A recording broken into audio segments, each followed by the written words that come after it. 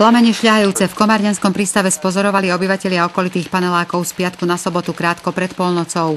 Budovu bývalého prístavného skladu si prenajíma firma zaoberajúca sa predajom a opravou jacht.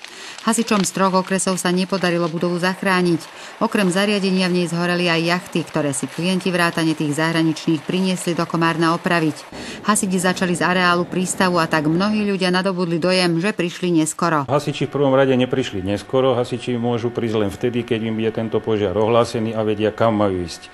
Prvotná informácia na okresné riaditeľstvo Hasičského záchranného zboru v Komárne prišla jednu minútu pred polnocou kedy cez e, koordinačné stredisko integrovaného záchranného systému, konkrétne teda 2359, dostali informáciu o tom, že majú vykonať výjazd na tú konkrétnu údanú adresu. Okamžite boli vyslané dve vozidla so šiestimi príslušníkmi, čo v podstate v tom čase bolo celé osadenstvo Asickej stanice v Komárne.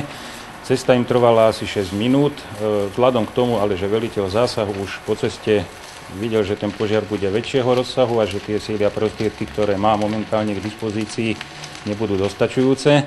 E, žiadal cestou linky 112 o vyslanie ďalších posilových jednotiek. Napriek snahe hasičov z Komárna, Kolárova, Nových zámkov, Nitry a Veľkého Medera sa budovu ani jachty, ktoré nestihli z dielne vytlačiť, nepodarilo zachrániť. Na zistenie príčiny požiaru bola vytvorená expertízna skupina. Vzhľadom k tomu, že teda tá prvotná škoda bola vyčíslená na viac ako 450 tisíc eur, e, prísluší e, zisťovať príčinu priamo požiarno-technickému expertíznemu ústavu. Vzhľadom k tomu, že e, to miesto požiaru bolo tak poškodené a všetko to, čo tam zhoreť mohlo, zhorelo, e, je najväčšia pravdepodobnosť, že príčina v tomto prípade zistená nebude. Nikto sa zúčastnených členov komisie sa nebude púšťať do takého hazardu, aby nezodpovedne prehlásil, že príčinou bolo technická závada, úmysel a tak ďalej, pokiaľ sa to na 100% nedá tou expertíznou činnosťou na mieste dokázať.